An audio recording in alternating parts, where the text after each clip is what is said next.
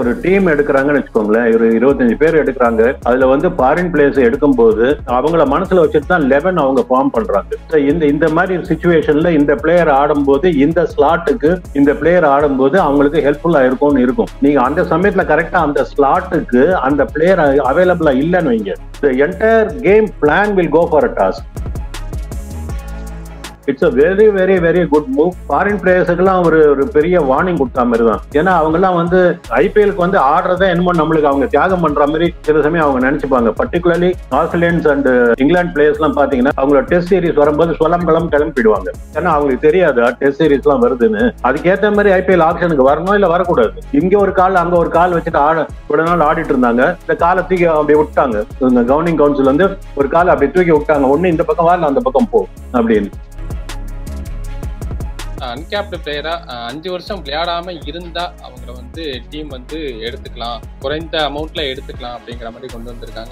இது கண்டிப்பா தோனிக்காகவே வந்து பிசிசிஐல பண்ண ஒரு விஷயமா சார்? ஹண்ட்ரட் பர்சன்ட் அது ஒன்றும் டவுட் இல்லை. அதாவது இது வந்து ஒரு அவென்யூ இது இட்ஸ் அவென்யூ இதை ஓபன் பண்ணி வச்சிருக்காங்க. இந்த இந்த இந்த சீசனுக்கு அது தோனிக்கு அப்ளிகபிள் ஆகுது. ஏன்னா மே- மே- மேற்கொண்டு அந்த மாதிரி சில பிளேயர்ஸுக்கு அப்ளிகபிள் ஆகலாம். ஒரு ஒரு ஆறு பேர் வரைக்கும் நீங்க வச்சுக்கலாம். உங்க டீம்ல இருந்து. இந்த எனி ஃபார்ம் பண்ணிக்கலாம். நீங்க வந்து அவங்கள ரீடைன் பண்ற மாதிரி பண்ணாலும் சரி இல்ல ஆர்டிஎம்ல போய் எடுத்தாலும் சரி அந்த மாதிரி பண்ணிக்கலாங்கிறது. அது வந்து அந்த ஆப்ஷனை வந்து பிரான்ச்சைசி கிட்ட விட்டது வந்து it's a welcome move twenty twenty seven வரைக்கும் தான் இந்த இம்பாக்ட் ரூல் இருக்கும். அதுக்கப்புறமா அதை கண்டினியூ பண்ணலாமா வேணாமாங்கிற டிசிஷன் எடுப்போம்னு சொல்லியிருக்காங்கல்ல இதான் ஐம்பது வயசு வரைக்கும் தான் உங்களுக்கு கெட்ட நேரம் அதுக்கப்புறம் அதுவே பழகிடும் நானும் ஒரு ஜோசியர். அந்த மாதிரி இருக்கு. இருபத்தி ஏழுக்கு அப்புறம் அதுவே கண்டினியூ ஆகும்னு சொன்னாலும் சொல்லுவாங்க. அதை பத்தி இப்ப என்ன பேச்சு பிரயோஜனம்? கண்டிப்பா இது யூஸ்ஃபுல்லா இருக்கும் இல்ல ஈஸ்வர் ஏன்னா நீங்க வந்து ஓவர்சீஸ்ல இருந்து மேக்சிமம் ரெண்டு பேர் எடுத்துக்கலாம்னு சொல்லியிருக்காங்க. ஸோ அந்த அது வேணா நீங்க வந்து இப்ப இல்லைன்னா பாத்தீங்கன்னா இப்போ உதாரணத்துக்கு வந்து எஸ்ஆர்எச் எடுத்தீங்கன்னா அந்த டீம் நிக்கிறதே ஃபாரின் பிளேயர்ஸால் தான் நிக்குது. ஸோ அவங்க வந்து இருக்கிற ஆறு பேரையும் ஃபாரின் பிளேயர்ஸா எடுத்துட்டாங்கன்னா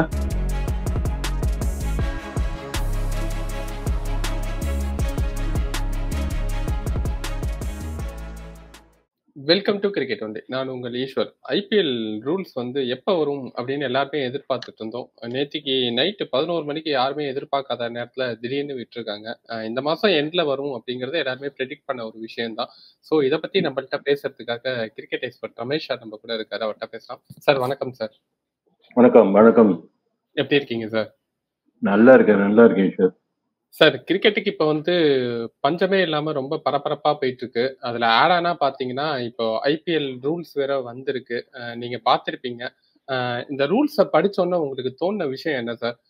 டூ தௌசண்ட் டுவெண்ட்டி டூல வந்து சில அப்கிரேட் பண்ணாங்க. அதுலேருந்து இப்போ வந்து டுவெண்ட்டி ஃபைவ்ல சில அப்கிரேஷன் பண்ணியிருக்காங்க ஸோ இந்த அப்கிரேஷனை எப்படி பாக்குறீங்க நீங்க? இல்ல அப்டேஷனுங்கிறது ஒன்றும் பெருசா இல்லையே. வந்திருக்கிற ரூல்ஸ் வந்து எனக்கு வந்து I am very happy about it ஒரே ஒரு விஷயம் வந்து இந்த இம்பாக்ட் பிளேயரை இன்னும் கண்டினியூ பண்றாங்கங்கிற ஒரு குறையை தவிர எனக்கு வந்து எந்த இதுவும் இல்லை. I am very happy twenty twenty seven வரைக்கும் தான் இந்த இம்பாக்ட் ரூல் இருக்கும். அதுக்கப்புறமா அதை கண்டினியூ பண்ணலாமா வேணாமாங்கிற டிசிஷன் எடுப்போம்னு சொல்லியிருக்காங்கல்ல சார்? இதான் ஐம்பது வயசு வரைக்கும் தான் உங்களுக்கு கெட்ட நேரம் அதுக்கப்புறம் அதுவே பழகிடும் நானும் ஒரு ஜோசியர். அந்த மாதிரி இருக்கு. இருபத்தி ஏழுக்கு அப்புறம் அதுவே கண்டினியூ ஆகும்னு சொன்னாலும் சொல்லுவாங்க. அதை பத்தி இப்ப என்ன பேச்சு பிரயோஜனம்? இன்னைக்கு இன்னைக்கு இருக்கிற கண்டிஷன்ல இம்பாக்ட் ரூல் இருக்கு. அவ்வளவுதான். ஒரு ரீடென்ஷன்ல வந்து ஆறு பேரை ரீடைன் பண்ணிக்கலாம் அப்படின்னு சொல்லியிருக்காங்க. எய்தர் ரீடென்ஷன் ஆர் ஆர்டிஎம் ரெண்டுத்தையுமே பயன்படுத்தி இதை பண்ணிக்கலாம் அப்படிங்கிற மாதிரி ஒரு ரூல் கொண்டு வந்திருக்காங்க. போன வாட்டி எப்படின்னா நாலு பேரை ரீடைன் பண்ணலாம் ரெண்டு பேரை வந்து ஆர்டிஎம்ல எடுத்துக்கலாம் அப்படிங்கிற ரூல் இருந்தது. இப்ப வந்து டோட்டலா ரெண்டுத்தையுமே ஒன்னா மெர்ஜ் பண்ணிருக்காங்க இதை எப்படி பாக்குறீங்க எக்ஸலண்ட் மூவ் இது வந்து சரி அந்த அந்த ஆப்ஷனை வந்து பிரான்ச்சைசி கிட்ட விட்டாங்க. நீங்க வந்து ஒரு ஒரு ஆறு பேர் வரைக்கும் நீங்க வச்சுக்கலாம். உங்க டீம்ல இருந்து இருபத்தஞ்சு பேர் இருக்காங்கன்னு வச்சுக்கோங்களேன். அதுல இருந்து ஆறு பேரை நீங்க ரீடைன் பண்ணிக்கலாம். இந்த எனி ஃபார்ம் பண்ணிக்கலாம். நீங்க வந்து அவங்கள ரீடைன் பண்ற மாதிரி பண்ணாலும் சரி இல்ல இதில் இதுல ஆர்டிஎம்ல போய் எடுத்தாலும் சரி அந்த மாதிரி பண்ணிக்கலாங்கிறது. அது வந்து அந்த ஆப்ஷனை வந்து பிரான்ச்சைசி கிட்ட விட்டது வந்து இட்ஸ் அ வெல்கம் மூவ் ஏன்னா ஆல் செட்டன்டன் வந்து ஒரு பிரான்ச்சைசி தானே அந்த டீமை ரன் பண்றாங்க. அவங்களுக்கு தெரியும். ஏன்னா ஒவ்வொரு சில இடத்துல வந்து ஒரு ஃபாரின் பிளேயர்ஸை நிறைய ரீட்டைன் பண்ண வேண்டியிருக்கும். சில இடத்துல இந்திய இந்தியன் பிளேயர்ஸ் நிறைய ரீட்டைன் பண்ண வேண்டியிருக்கும். சில டீம்ல வந்து கொடுத்துட்டு எடுக்கிற மாதிரி இருக்கும். ஏன்னா சப்போஸ் வந்து அவங்க வந்து கையில வந்து இருக்கிற ஆள் ஒரு ஆளுக்கு ஒரு அதிகமான தொகை கொடுத்துருப்பாங்க. அவங்கள ரிலீஸ் பண்ணிடுறாங்க. ரிலீஸ் பண்ணிட்டு அவங்க வந்து அதுக்கப்புறம் அந்த தொகை போகாம கம்மியா போகும்போது அந்த கம்மி தொகைக்கு எடுத்தா அந்த அந்த அளவுக்கு பர்ஸ் அவங்களுக்கு சேவ் ஆகும். ஸோ அந்த மாதிரி ஆப்ஷன் அவங்க கிட்ட கொடுத்துடுறது வந்து நல்ல மூவ் தான். It's an excellent move I should say போன வாட்டி பாத்தீங்கன்னா நைன்டி க்ரோர் இருந்தது. இந்த வாட்டி ஒன் டுவெண்ட்டி க்ரோரா வந்து பஸ் வேல்யூவும் இன்க்ரீஸ் பண்ணிருக்காங்க. இது எந்த அளவுக்கு டீமுக்கு வந்து ஹெல்ப்ஃபுல்லா இருக்கும் இந்த அமௌண்ட் இன்க்ரீஸ் பண்ணதுனால? இல்ல டீமுக்கு வந்து அது அது any any player for that matter வந்து ஒரு ரெண்டு சீசன் நல்லா பண்ணிட்டாங்கன்னா அடுத்த வருஷம் வந்து he will pitch it for a higher stake sir இப்போ வந்து போன வருஷம் ரெண்டு லட்சத்துக்கு ஆடின ஒரு பிளேயர் இந்த வருஷமா ரெண்டு லட்சத்துக்கு ஆட மாட்டான். உதாரணத்துக்கு சொல்றேன். டூ லேக்ஸுக்கு ஆட மாட்டாங்கல்ல அவங்க ஒரு த்ரீ லேக்ஸ் அவங்க பிச் பண்றாங்கன்னு வைங்க. இந்த மாதிரி இது வந்து அந்த இன்ஃபிளேஷன் மாதிரி தான் ஒரு அந்த ஒரு ஒரு குறிப்பிட்ட காலத்துக்கு அப்புறம் அதை கொஞ்சம் இன்க்ரீஸ் பண்ணணும் அந்த பர்ப பர்ஸை செகண்ட் திங் வந்து அவங்க வந்து இந்த ரிட்டன்ஷன்ல வந்து கிட்டத்தட்ட எழுபத்தஞ்சு கோடி உள்ள வந்து பிளாக் பண்ணிட்டாங்க. மீதி இருக்கிற வந்து நாற்பது நாற்பத்தஞ்சு கோடி தான் நீங்க பண்ணணும். அதனால அந்த மீதி இருக்கிற அந்த ஃபார்ட்டி ஃபார்ட்டி ஃபைவ் கோர்ஸ் வச்சுட்டு தான் நீங்க ஓட்டணும்னு இருக்கும்போது அவங்களுக்கு வந்து அந்த ஆப்ஷன் ஸ்டேக் கொஞ்சம் கம்மியாக தான் ஆகுது. ஒன் டுவெண்ட்டிங்கிறது வெரி டீசென்ட் அமௌண்ட் இந்த மேக்ஸிமம் ஆர் ரீடென்ஷன்ல பாத்தீங்கன்னா ஓவர்சீஸ்ல இருந்து ரெண்டு பேர் எடுத்துக்கலாம் அதிகபட்சமா. கேப்டு பிளேயர்ல பாத்தீங்கன்னா அஞ்சு பேர் மேக்ஸிமம் எடுத்துக்கலாம். அன்கேப்டுல இருந்து பாத்தீங்கன்னா மேக்ஸிமம் ரெண்டு பேர் எடுத்துக்கலாம். இது எந்த அளவுக்கு வந்து டீம் வந்து ஷஃபிள்ஸ் பண்ணுவாங்க சார் இது எந்த அளவுக்கு யூஸ் பண்ணுவாங்க டீம்ஸ் கண்டிப்பா இது யூஸ்ஃபுல்லா இருக்கும் இல்ல ஈஸ்வர் ஏன்னா நீங்க வந்து ஓவர்சீஸ்ல இருந்து மேக்ஸிமம் ரெண்டு பேர் எடுத்துக்கலாம்னு சொல்லியிருக்காங்க. ஸோ அந்த அது வேணா நீங்க வந்து இப்போ இல்லைன்னா பாத்தீங்கன்னா இப்போ உதாரணத்துக்கு வந்து எஸ்ஆர்ஹெச் எடுத்தீங்கன்னா அந்த டீம் நிக்கிறதே ஃபாரின் பிளேயர்ஸால் தான் நிக்குது. ஸோ அவங்க வந்து இருக்கிற ஆறு பேரையும் ஃபாரின் பிளேயர்ஸா எடுத்துட்டாங்கன்னா அப்புறம் நம்மளுக்கு இந்தியன்ஸ் ஒண்ணுமே இல்லாம போகிறோம் ஒரு ஹைப்பத்தட்டிக்கலா சொல்றேன் எக்ஸாம்பிளுக்கு சொல்றேன். ஸோ அந்த மாதிரி நீங்க எல்லாத்துக்குமே ஒரு கேப் வைக்கிறது நல்லது தானே? இல்லைன்னா ஒரே ஒரு அது ஒரு குறிப்பிட்ட இது ஒரு குறிப்பிட்ட கேட்டகரி சார்பா போயிடும் அது. அதனால இப்போ வந்து maximum two of foreign players அது மேக்சிமம் டூ ஆஃப் அன்கேப்டு பிளேயர்ஸ்னு வச்சிருக்காங்க. ஸோ நீங்க கேப் இந்திய இந்தியன் கேப்டு பிளேயர்ஸை நீங்க மீதி யூஸ் பண்ணிக்கலாம்னு. அதுலயும் வந்து நீங்க ரிட்டைன் பண்ணது தான் பண்ணிக்கலாம் ஆர்டிஎம் போலான்னு வச்சிருக்காங்க. ஒரு அன்கேப்டு பிளேயர் சொல்லியிருக்காங்கன்னு நினைக்கிறேன். ஸோ அது வந்து கண்டிப்பா சிஎஸ்கே தான் அந்த விஷயத்துக்கு ஃபைட் பண்ணியிருப்பாங்க. தோனியை மனசுல வச்சுட்டு. ஸோ அதுல வந்து ஒரு அட்வான்டேஜ் வந்து எல்லா பிரான்ச்சைஸுக்கும் ஒரு அட்வான்டேஜ் என்னன்னா இந்த பிராக்கெட்டுக்குள்ள ஆறுக்குள்ள ஒன்று அது கொண்டு வரதுனால அந்த அந்த ஸ்டேக்கு வந்து நாலு கோடியில முடிக்கலாம் அது. மேக்சிமம் ஃபோர் க்ரோர்ஸ்ல அது முடிக்கலாம் ஸோ நீங்க வந்து பத்து கோடி பதினெட்டு கோடின்னு அவங்க முதல்ல வச்சாங்க பாத்தீங்களா? இதுக்கு வந்து அவங்க வந்து ரிட்டென்ஷனுக்கு அவங்க வச்சிருக்கிறது eighteen crores fourteen crores fifteen eleven crores again number ஃபோருக்கு எயிட்டீன் க்ரோர்ஸ் நம்பர் ஃபைவ்க்கு ஃபோர்டீன் க்ரோர்ஸ்னு வச்சிருக்காங்க. ஸோ அந்த மாதிரி இல்லாம நீங்க ஒரு ஃபோர் க்ரோர்ஸ்ல ஒரு ஒரு ஆளை எடுக்கக்கூடிய சான்ஸ் இருக்கு உங்களுக்கு. இந்த அன்கேப்டு பிளேயர்னு வரும்போது.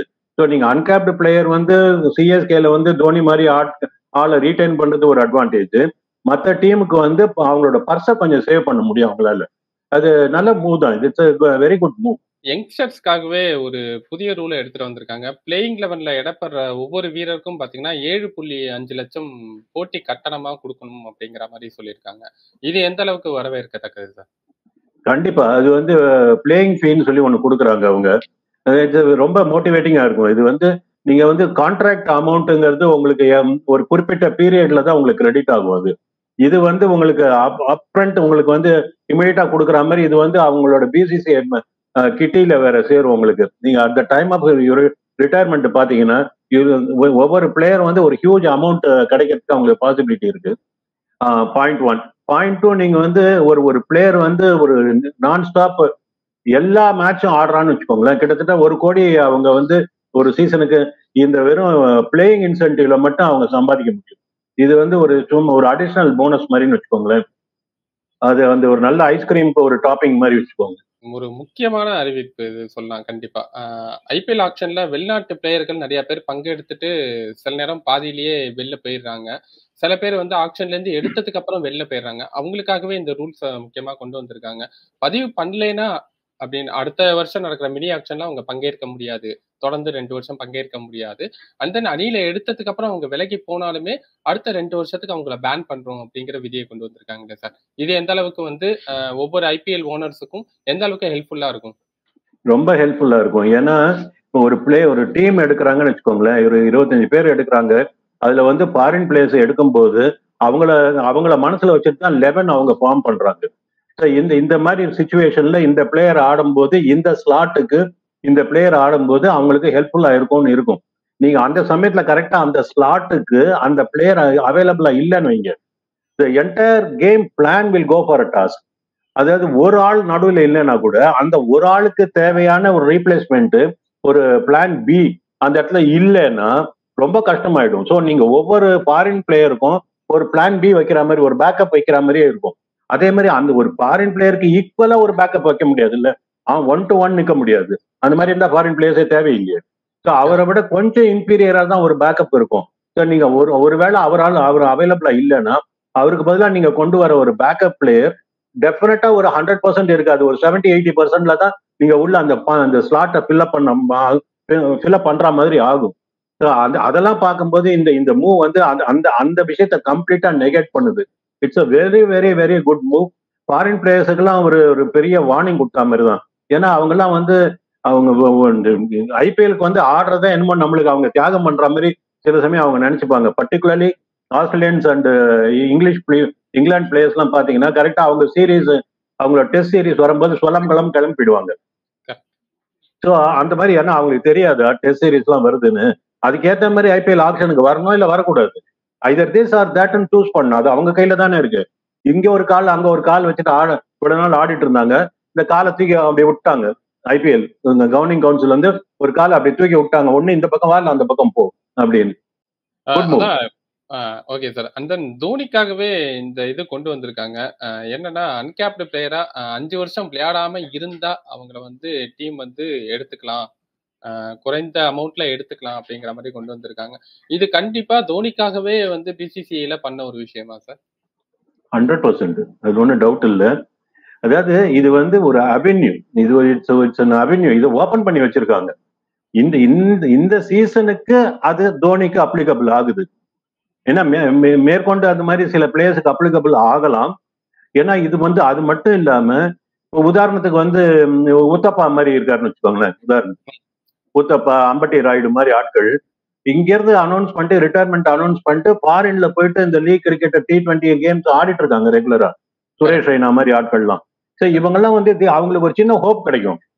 உங்களுக்கு திடீர்னு திருப்பியும் அடுத்த ஒன்று ஒரு ரெண்டு மூணு வருஷத்துல அவங்க அந்த ஃபைவ் இயர் பீரியட் அவங்க லாக்இன் பீரியட் முடியும் போது ஒரு நாலு கோடிக்கு வந்து ஆடுறதுன்னா ஒய்நாட் ஐபிஎல் ஆடலாம்ல. அது அதனால அந்த மாதிரி ஒரு அவங்களுக்கும் கதவை திறந்து வச்சிருக்காங்க. அது ஒரு கூட்டின கதவு திறக்கப்பட்டது. அப்படி வச்சுக்கோங்களேன். வச்சுக்கோங்க. இந்த வருஷம் டெஃபினட்டா அது தோனியை மனசுல வச்சுட்டு தான் பண்ணது. இந்த இந்த பாயிண்ட்டை வந்து சிஎஸ்கே தான் ஓபன் பண்ணியிருந்திருப்பாங்க மேபி மற்ற ஒன்பது பிரான்ச்சைசஸ் ஒன்னும் அதை அப்டேட் பண்ணாம இருந்திருப்பாங்க. ஃபார் டூ ரீசன்ஸ் ஒன்னு தோனியை ஓகே அப்போஸ் பண்ணிக்க வேண்டாம் அப்படிங்கிற மாதிரி இருந்திருக்கும். இன்னொன்னு இன்னொன்னு அவங்களுக்கும் ஒரு ஆப்பர்ச்சுனிட்டி அடுத்த வருஷம் இல்லை அதுக்கு அடுத்த வருஷத்தை கிடைக்கக்கூடிய வாய்ப்பு இருக்கு. ஓபன் பண்ணி வச்சிருக்காங்க அவ்வளவுதான். யூஸ் பண்ணிக்கணுங்கிற அவசியம் நம்ம இவ்வளவு பாயிண்ட்ஸ் பேசணும் இந்த ரூல்ஸ்ல இருந்து. இதுல உங்களுக்கு முக்கியமா எந்த பாயிண்ட்ஸ் ரொம்ப வேலிடா இருந்தது? எனக்கு வந்து ஓவராலா எனக்கு I'm very happy with every move இந்த இந்த ஃபாரின் பிளேயர்ஸை வந்து கொஞ்சம் காலை தட்டி வச்சிருக்கிறது வந்து I am very very very happy இப்போ இந்த ரீடென்ஷன் ஆறு பேர் எடுக்கிறாங்கன்னா எந்த டீம்லாம் ஆறு பேரை ரீடைன் பண்றதுக்கான வாய்ப்புகள் அதிகமா இருக்கு? இப்ப பத்து டீம் இருக்கு. பத்து டீம்ல ஒரு குறைந்தபட்சமா எத்தனை டீம் வந்து இந்த ஆறு பேரை தக்க வச்சுக்கிறதுக்கான வாய்ப்புகள் அதிகமா இருக்கு? அதெல்லாம் இப்போ ஒன்று டூ ஏர்லி சார் அதெல்லாம் நம்ம ஒரு நாள் இப்போ தனியா பேசணும் அதுக்கு. எக்ஸ்க்ளூசிவா பேசலாம் அது. ஏன்னா ரிட்டென்ஷன்ங்கிறது வரும்போது நம்ம வந்து இப்போ இன்னைக்கு இருக்கிற ஐபிஎல் கவர்னிங் கவுன்சில் என்ன பண்ணிருக்காங்கிறத பேசிடலாம். ரிட்டன்ஷன் வரும்போது ஒவ்வொரு டீம் என்னென்ன பண்றாங்க பண்ற மாதிரி இருக்கு அப்படிங்கறது வேணா நம்ம தனியா பேசலாம். ஏன்னா because you have to go team by team அதுல ஒண்ணு ஒவ்வொரு டீம்ல இருபத்தஞ்சு பேர் இருக்காங்க. கிட்டத்தட்ட இரநூத்தி ஐம்பது பேரை நீ ஹேவ் டு அனலைஸ் அதெல்லாம் பண்ணலாம். We will do it okay sir. இவ்வளவு நேரம் வந்து ஒரு தெளிவான விளக்கத்தை கொடுத்தீங்க. இந்த ரூல்ஸை பத்தின அப்டேஷன் வந்து எல்லாருக்குமே சென்றடையும்னு நினைக்கிறேன். இவ்வளவு நேரம் உங்க கருத்துக்களை பகிர்ந்துகிட்டதுக்கு ரொம்ப நன்றி சார். தேங்க்யூ